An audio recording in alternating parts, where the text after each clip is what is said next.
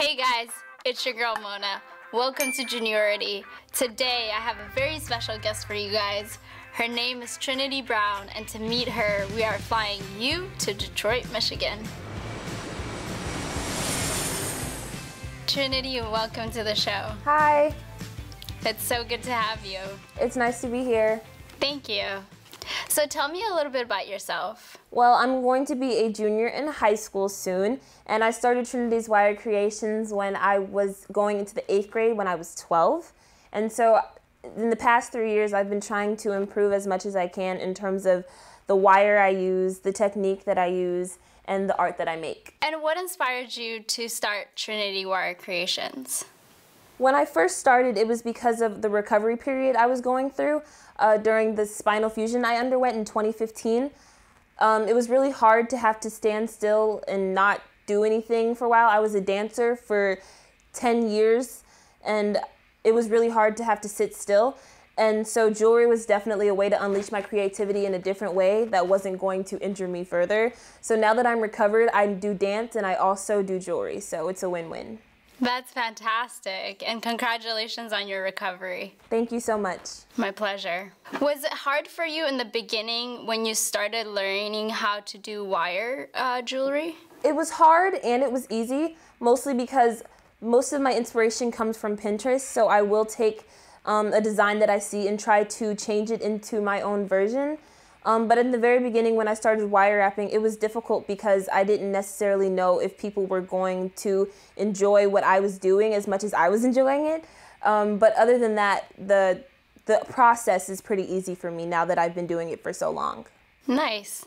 That's awesome. When you started your business, did you find out that there were plenty of art shows and events for you to showcase your business? Well, there's this nonprofit organization here in Detroit called the Mint Artist Guild. It's with a whole bunch of uh, Metro Detroit teenagers from different high schools and different backgrounds, and we come together and we learn about copyright and we learn about um, pricing and different mediums, and we take a whole bunch of classes from professional artists, and that is when we learn how to um, properly go through major art fairs such as the Belle Isle Art Fair, the Palmer Park Art Fair. Those are really big art fairs here, and so we get to participate in those art fairs for a significantly lower price than the booth fees because booth fees can be pretty expensive.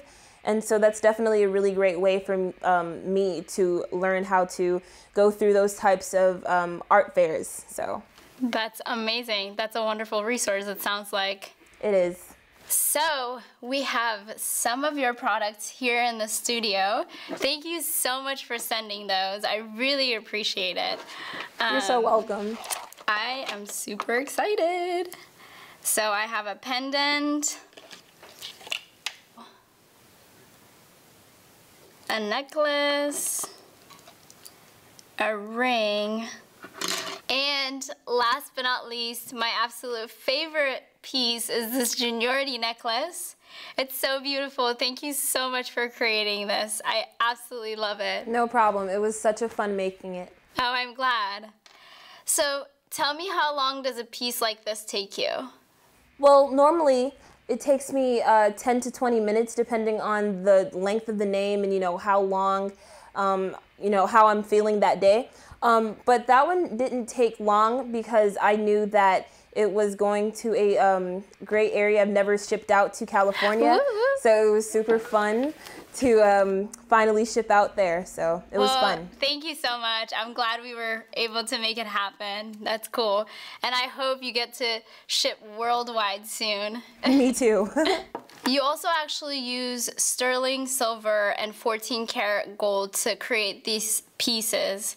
What I'm curious about is seeing something like this, how do you maintain not breaking the wire?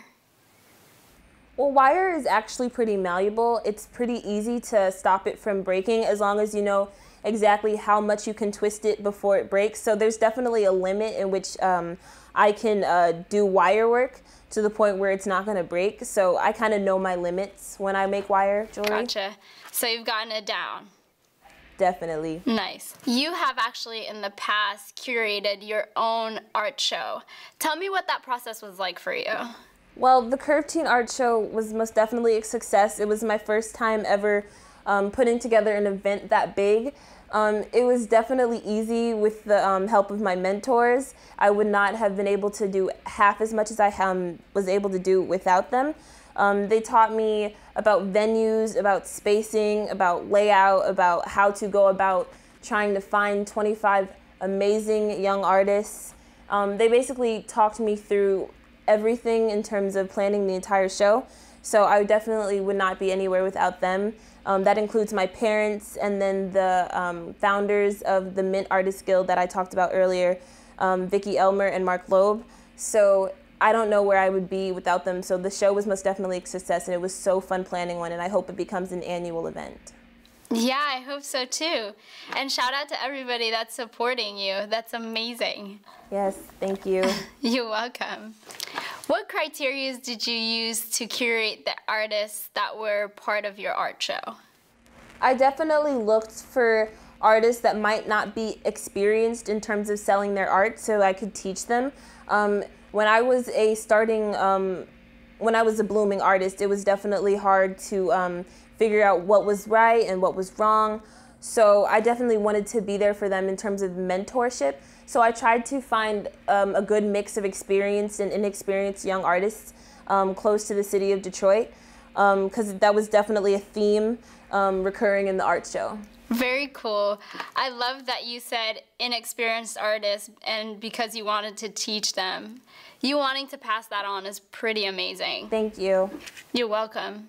So, why did you call your art show the Curved Art Show? Well, the reason why I called it curved is because it also plays into um, my scoliosis and my recovery. I wouldn't be creating art without um, having a spinal fusion, and I feel like every artist has a story, and so I wanted to input my story into teen art. Um, two things I love. Um, not giving up, which shows through um, my spinal fusion and you know persevering through that, but also teen art and young artists and aspiring artists. And that's definitely two things that I love. So I wanted to input them both into the art show as much as possible. That's beautiful. I love that. So you also give back to the National Scoliosis Foundation. Tell me a little bit about that. Well, I definitely know that I wouldn't be where I am without my spinal fusion. And although it was kind of unfortunate to have because of dancing and me having to stop, it definitely wouldn't have uh, turned into this. Um, so I definitely wanted to give back and um, share awareness in terms of what scoliosis is because it affects a lot of people and a lot of people don't even know what it is. And so I definitely wanted to make sure that I donated back to the National Scoliosis Foundation. That's very nice. What advice do you have for aspiring young entrepreneurs? I definitely would say don't give up and don't be afraid of failure. Um, because if there were, um, there's so many techniques that I've tried and failed at, and it definitely makes me um, stronger and it definitely makes my jewelry even better. Um, so I would say don't be afraid of failure and to never give up. Very good advice. So, what does Trinity do for fun? I spend a lot of time with my family and a lot of time with my friends, and that's definitely one way that I spend um, spend my time a lot. Um, but the rest of it is mostly jewelry. that's what I do for fun. Um, it's really calming and um, sometimes I'll just um, sit back and watch TV and wire wrap, you know, and that's just uh, one way I spend time. It's a lot of way. It's a good way to pass time. Yeah, being creative is the best way to pass time. That's awesome. So, for people that want to know more about you, where can they find you? I have a website named trinityswirecreations.com. That's where you can see my blog posts, and you can also shop online where I ship worldwide. And then I also um, have a Instagram called Trins Wire Creations. That's where I post all of my work in progress pendants, and that's where I post where I will be in the upcoming shows in Detroit, Michigan, and locally as well. And then I have Trinity's Wire on Pinterest, where you can see all of my inspirations in terms of creating pendants and creating art. That's where I spend a lot of my time um, just seeing what other people um, chose to do with wire and seeing how I can turn that into my own version of um, art. And then I also have Trinity's Wire on Facebook. Um, that's definitely where I update about my newest collections and where I'll be. And um, when I upload on my website and all of that great stuff. Very cool. Well, we'll make sure people can find you. Trinity, thank you so much for being on our show. I really appreciate you. And I absolutely love the jewelry that you're creating. It's beautiful. Uh, you know, you, you obviously love what you're doing because I can see it in the details.